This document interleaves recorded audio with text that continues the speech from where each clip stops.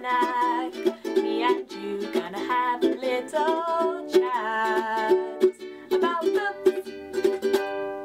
Hi guys! So I am here today to do some reviews of some of the most recently read graphic things I've been reading. I've read quite a few recently and a lot of them have been amazing so I'm going to try and be quick-ish but of course I will end up chatting a bit more about the ones I've really really enjoyed or really hated although I don't think there's any that I really hated in this batch so let's get started. So the first thing I have to show you guys is this. It is issue number four I believe of Katzine. I've been reading this series since it started and really enjoying it and it's produced by a lady called Katrina Chapman it's a little zine, very, very tiny as you can see, very beautiful production value as you can see, and it's printed on really high quality paper. It basically chronicles a lot of the adventures that she went on when she was travelling around, holidays that she's been on, things like that. But it's done in comic form and it also has sections that are sort of regular feature pages, stories. So it basically is a mishmash of anything she wants to include that month and I really, really enjoy it. There's a little content at the front to sort of uh, give you a bit of an idea of some of the things that she includes within this, but I really enjoy this every time I read it, which is why I've continued collecting it. So I gave this one a 4 out of 5 stars. If you like pencil drawn imagery, I would highly recommend this because it is all pencil drawn and beautifully done, if I do say so myself. It's fabulous. I'm really, really impressed every time I read these and I just love them. So I'll put a link to her website below where you can pick them up. The next two I have to show you guys is Chew Volume 6 and Volume 7. This is a fantastic series that I started quite a while ago. Um, I think early last year or maybe even the year before that I started this series and I'm up to Volume 7 but I took a little break and dived back in with 6 and 7 and I'm so, so loving this series. It's just fun. It's just one of those series that is really quite bizarre and quite wacky, but it works because it has the humour element that makes you smile and makes you engage with the characters. The artwork within is quite similar to the artwork you see on the front. As you can see, different pages have different colour tones, so this is a fairly green page, whereas this is more pinks and purples. And then we have pages that are a bit more blue in tone and a bit more sombre. I just really enjoy this series because of the fun that it brings, and it does make me smile when I'm reading it. It also makes me roll my eyes at times, but on the whole, it is a very fun series that I can't really complain about because it's just a bit wacky, a bit crazy, but kind of awesome all at once. And it's about this guy here called Tony Chu, and this is his friend or assistant. This is his nemesis. This is his sister on the front. So it's basically revolving around everyone in Chu's life. And it follows him as he investigates crimes in this world where chicken has been banned because of all sorts of things going wrong with it. Manages to have this sort of weird special power where if he bites into a piece of food, he can kind of psychically link with where the food has been, who has handled it, what's been going on in their lives, what emotions they were feeling when they were handling the food, all that sort of weird stuff. So it is bizarre, like really bizarre, and it is quite gruesome at times. So if you don't like that, you might not enjoy it. If you do enjoy that, then you'll probably really like these because they're just funny and they always give me a giggle. So I gave both of these a 4 out of 5 stars. The next one I have is My Father's Arms Are a Boat. This is by Stein Erik Lund and Oyvind Torseter and this is translated from, I believe, Norwegian. This was kindly sent on to me by Jen, so thank you to Jen. Look at the little fox character on the front there. He is incredibly cute. It's a really tiny children's illustrated book. You can see that it actually uses cutouts as the illustration style, which I love can always see the little fox character.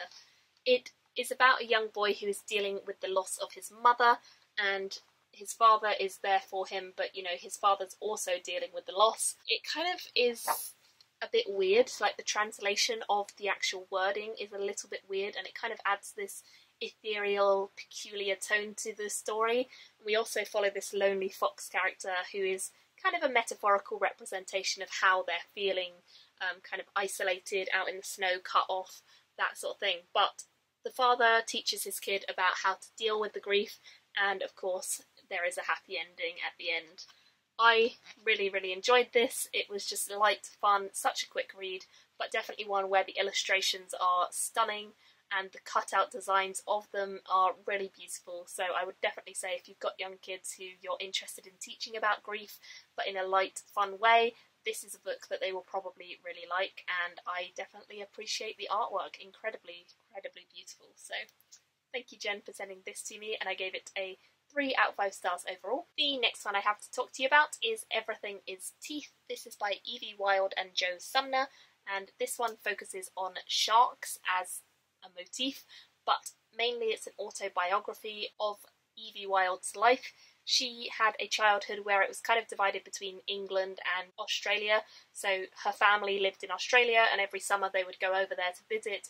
And whilst they were there, it was a very, very different lifestyle to that of her English, going to school, living day to day life. Whereas in Australia, it was more about having adventures, exploring, discovering things, but also being wary of sharks because sharks are definitely more of a problem in Australia than England, thank goodness. But yeah, it's it's a really interesting story about her life and sort of the juxtaposition that she had going on in her head about whether sharks were good or whether they were something to be terrified of. This is the art style it's mostly drawn in, yellows for the highlights and then black and white for the rest of it. I really like this art style, even though it is quite over exaggerated. I still enjoy it. And we have black and white on some pages as well. And as you can see, the actual sharks that are pictured within this are all very beautifully done. Um, hand painted illustrations which are just stunning, so I love that. Some of the pages are very, very big imagery, as you can see, so we have like very bold, exciting, stark imagery. Some pages have an awful lot more going on, and you can see that there's like these shark jaws and things which are actually also the end papers which I think look really really cool. I will say this is quite a bloody one. If you're not into blood or it freaks you out then you probably want to look away from the screen for the next 10 seconds or so whilst I show you a somewhat bloody page. This is the page I was talking about. There are quite a lot of these sorts of things going on. However, if you're not into blood, you can now look back at the screen. I'll also show you this close-up of what the sharks are drawn like. Like, look how beautifully detailed that is. It's just so stunning and very realistic, which is cool. Yeah, this is a really interesting one. It definitely has good moments, like funny moments, and moments where you're like a bit grossed out by it. But I really enjoyed the imagery that they use within this and the way they combine the sort of more traditional classic comic imagery with painted design photorealistic imagery as well. It just worked really, really well. And as a whole, it's a fantastic story. So I gave this one a 4 out of 5 stars as well. The next one I have to show you guys is The River. This is by Alessandro Sanna. It's translated from Italian and it's all done in this absolutely stunning watercolour style as you can see. This basically focuses on one section of a river whilst seasons change and you follow a few different characters. You never know their names but you just follow their silhouettes essentially as the river changes season by season. So at the start of each season you get a page like this which will just say autumn. Autumn is painted red, earth and golden skies.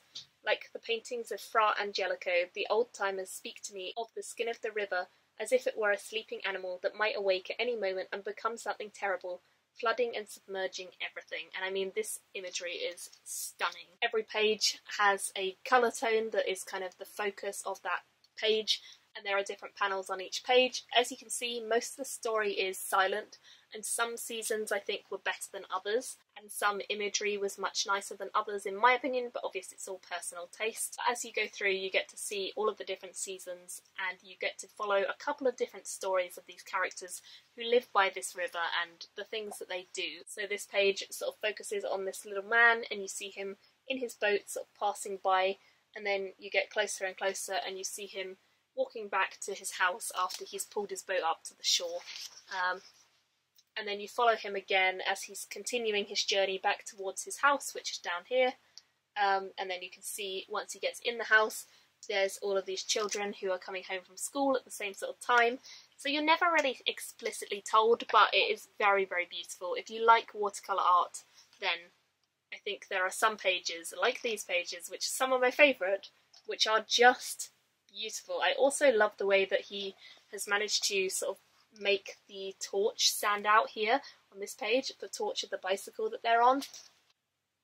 It's just so cool, like so incredibly beautiful, and I cannot really show it very well on the screen because I'm sort of holding it like this all over the place. but it really is absolutely stunning to look at. And another one of the stories you get is like this marriage that's happening, which is super, super cute.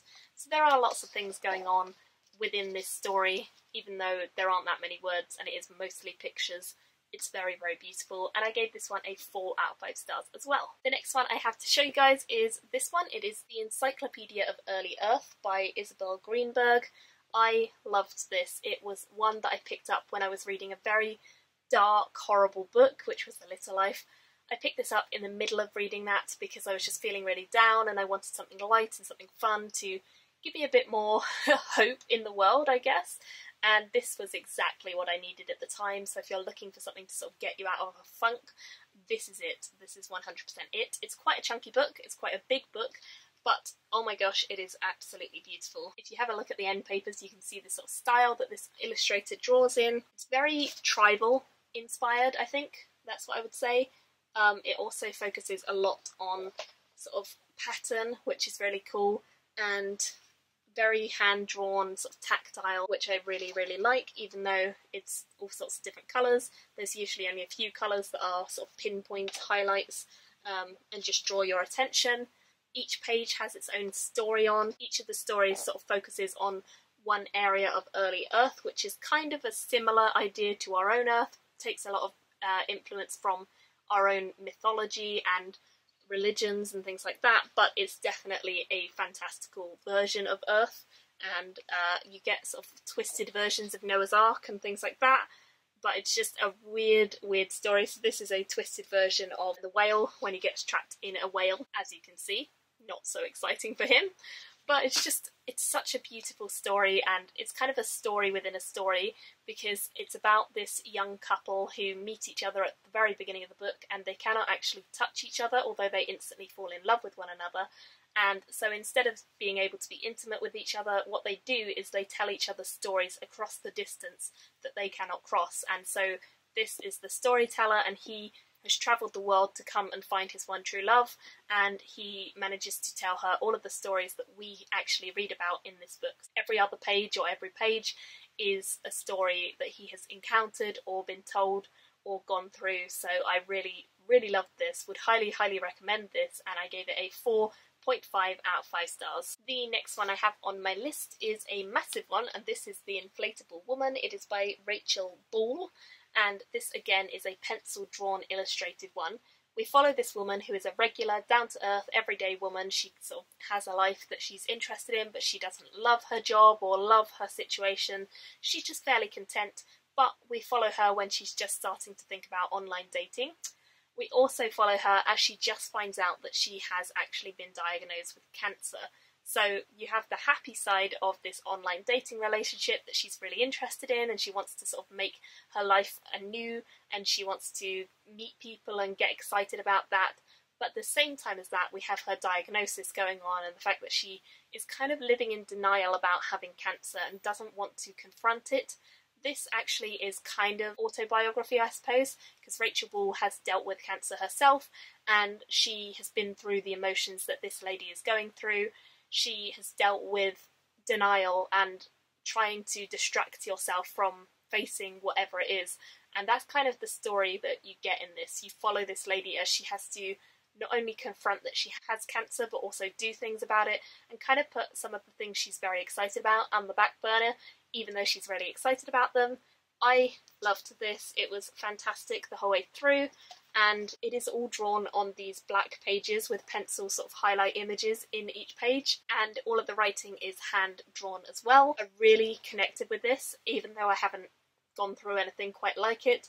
I connected with the fact that some of it is fantastical because she's trying to get out of her own head. She's trying to sort of distract herself from everything horrible that she's being told about her body and the fact that it's kind of betraying her by getting cancer. She wants to just have fun with this guy that she's met online. She wants to just enjoy her life, and she can't really do that.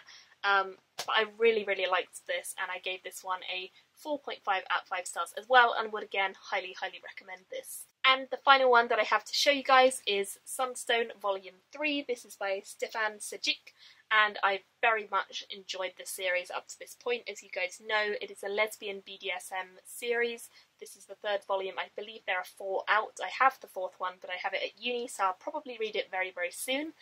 I've loved these. It follows the story of Ali and Lisa and the story of how they came to be a couple, how they adventured into the world of BDSM, how they met each other, how they grew to not only have a sexual relationship but also have an actual relationship. And it's incredibly, incredibly well done. It's all drawn and written by the same guy, and it is just a really realistic, beautiful, down to earth, not over exaggerated depiction of what a real BDSM relationship would be like, and a lesbian one at that. I just think this is one of the sweetest, happiest, chirpiest, most wonderful graphic novels I've read, and I find that this is one of the only relationships in a book that I really root for them every time because I think it feels so genuine. It feels so real, so delightful, so funny, and every time they have an argument or every time they misunderstand each other, I'm like, no, guys, you have to stay together, you have to be okay, because this is honestly one of the only couples I've ever really cared about in any sort of book, um, not just comics, but definitely in comics.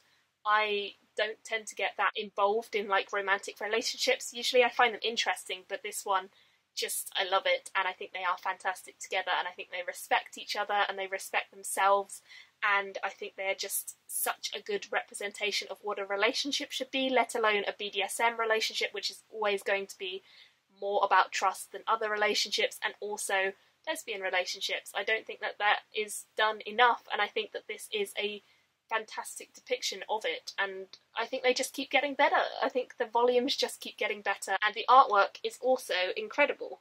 It is a bit saucy, obviously, it is an erotic series, but I love it. I just think that it's super cute, and I think the expressions are super cute, and it's quite realistic at times, but equally there are some moments where you get really over exaggerated expressions that I think just work so incredibly well. There is a lot of text in this series as well, and I think that's great because it explains so much about what the relationship is and what they have to discuss and what they have to do that's different to a regular sexual relationship. Um, because it is different. It's definitely not the same situation as a normal relationship where BDSM isn't involved. You have a lot more to think about when you are getting into a BDSM relationship and this is just absolutely stunning and lovely and wonderful and I just I love it. I ship them. I ship them 100% and I would cry if they broke up I think because they're just such a good couple and I love them so much. So I gave this one 5 out of 5 stars. I would highly recommend this series if you guys haven't checked it out already. Please, please do. Those are all of the things that I have to talk to you guys about today. I know that there was quite a lot in this video, but I would love to hear your thoughts on them if you guys have read them or if you haven't read them, which ones are you interested in picking up now that I've told you a bit more about each of them. Thank you all for watching and I will see you all very soon in another video. Bye! Thank you for watching my video today. Go pick up a book, then come back and chat with me again.